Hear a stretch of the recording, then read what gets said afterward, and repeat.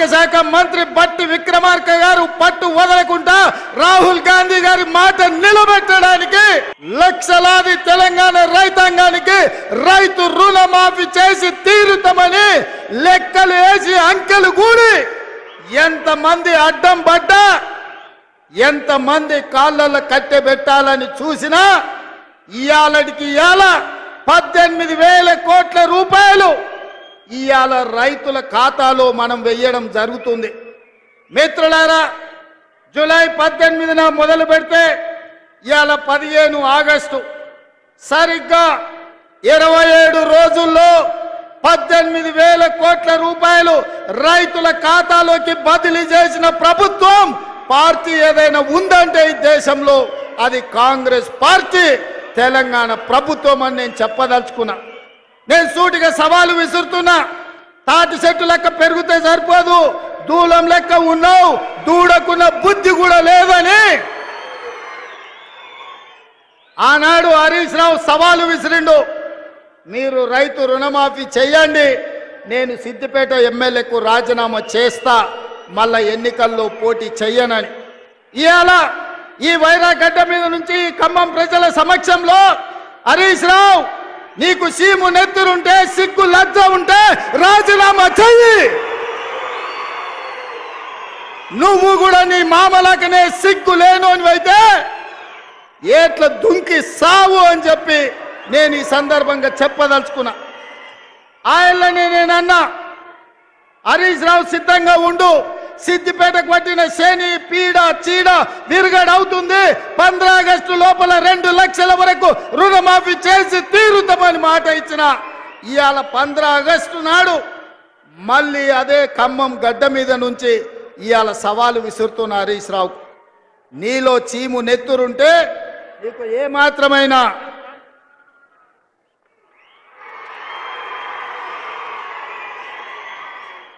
నీకు ఏ సిగ్గు శరం ఉంటే రాజీనామా చెయ్యి.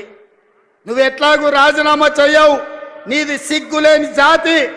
అందుకే ఇవాళ నువ్వు రాజీనామా చేయకపోతే అమరవీరుల స్థూపం దగ్గరకు వచ్చే ముక్కు నేలకు రాజు. కాంగ్రెస్ పార్టీ మీద సవాలు విసిరినందుకు తెలంగాణ రైతాంగం క్షమించండి. మాట తప్పని పార్టీ కాంగ్రెస్ పార్టీ రుణమాఫీ చేసింది. నేను విసిరిన సవాల్ను వెనక్కి తీసుకుంటున్నానని తెలంగాణ రైతాంగానికి క్షమాపణ చెప్పు.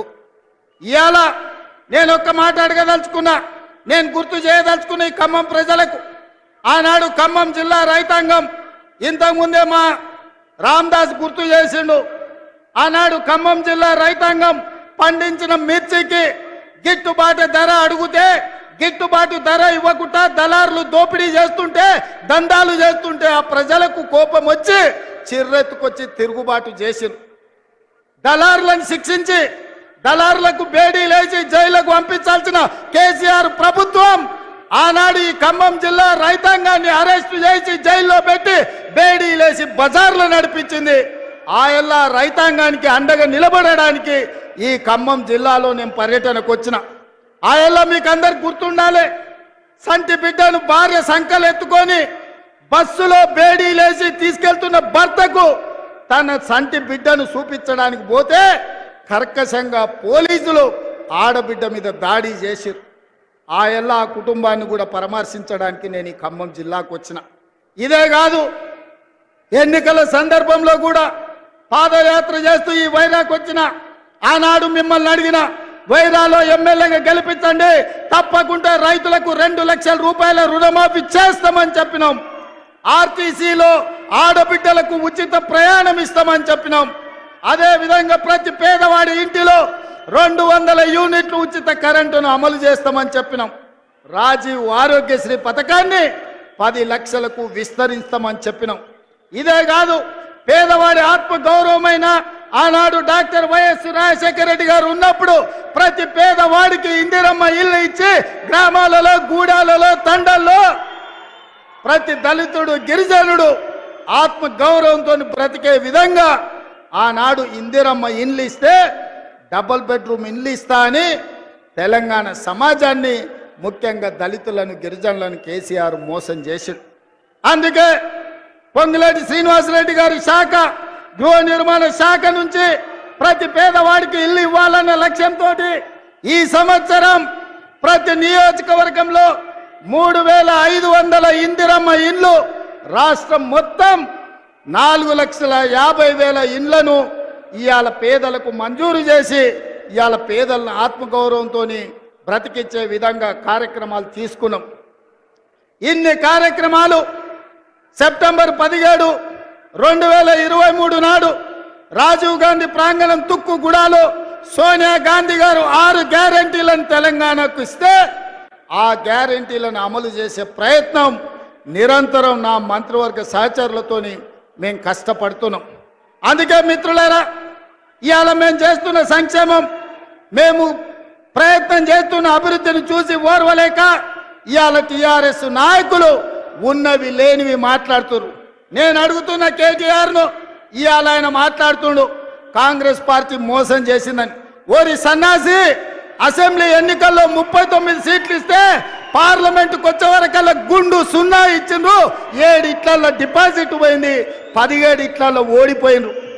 ఇంకా మీ బుద్ధి మారలేదా? ఇంకా ఈ అబద్ధాలు మానరా? తండ్రి కొడుకులు బావ బామ్మార్దులని నేను అడగదలుచుకున్నా. నిజంగానే మీ మాటలు నమ్మితే తెలంగాణ సమాజం మిమ్మల్ని మనుషులుగా చూస్తే మీకు ఒక్క సీట్ అయినా ఇచ్చటోళ్ళు కదా.